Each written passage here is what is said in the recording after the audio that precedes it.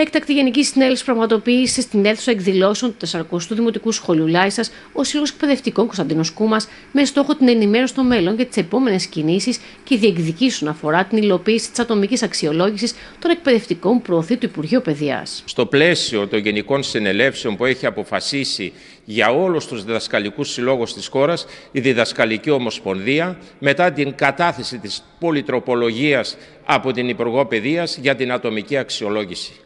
Η εκπαιδευτική δεν είναι αντίθετη στην αξιολόγηση. Είναι υπέρ μιας αξιολόγησης παιδαγωγικής, ανατροφοδοτικής, η οποία δεν έχει καμιά σχέση με τη μισθολογική και βαθμολογική εξέλιξη των εκπαιδευτικών. Και φυσικά δεν έχει κανέναν τιμωρητικό χαρακτήρα. Ε, δίνουμε τον αγώνα όμως ενάντια στην ατομική αξιολόγηση την οποία φέρνει το Υπουργείο Παιδείας το οποίο οδηγεί στην κατηγοριοποίηση των εκπαιδευτικών ε, στην μισθολογική και βαθμολογική καθήλωση.